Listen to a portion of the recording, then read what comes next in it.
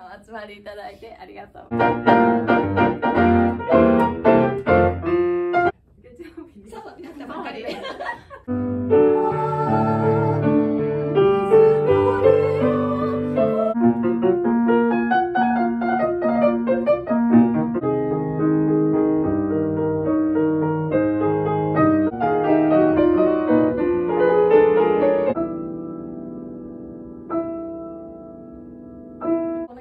歌も伴奏も好き。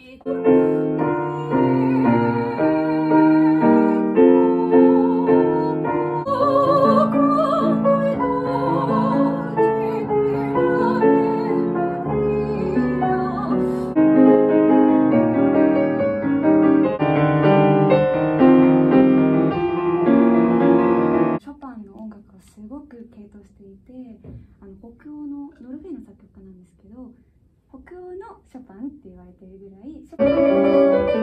い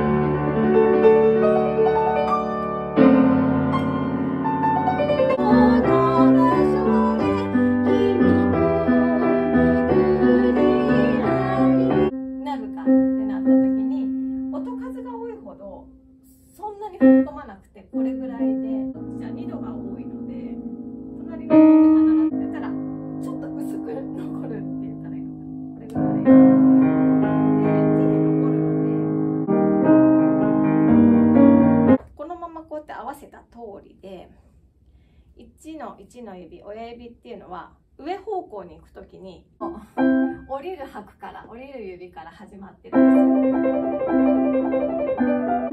後押しをしていく。感じてあげる。こう感じるんではなくてこっちで感じてあげると。